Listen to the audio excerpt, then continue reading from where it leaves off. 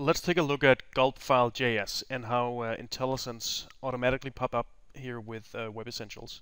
So um, let's require gulp, and you can see you get nice IntelliSense for all your node modules here.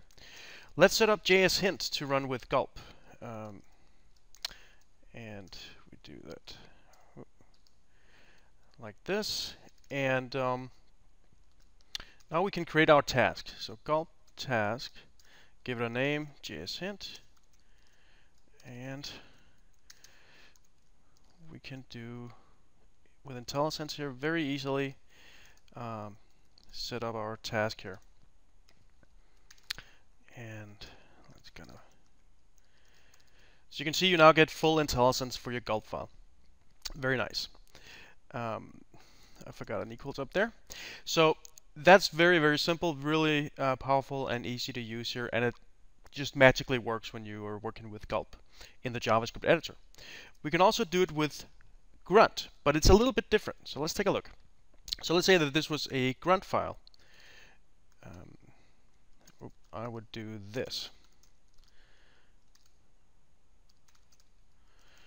Um, but here we have to use uh, JS doc comments and um, we can do that like this. And uh, I'm going to use the IntelliSense we have for writing these things. I'm going to say that the parameter, the grunt parameter is of type grunt with a capital G, and then grunt here uh, to uh, point to the actual uh, parameter right here.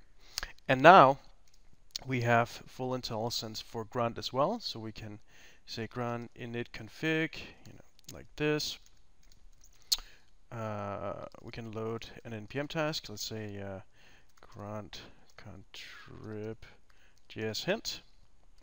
And we can also register tasks and do all these other things. And we now have full IntelliSense uh, with signature overloads here, uh, which is a Visual Studio only feature, which is really nice.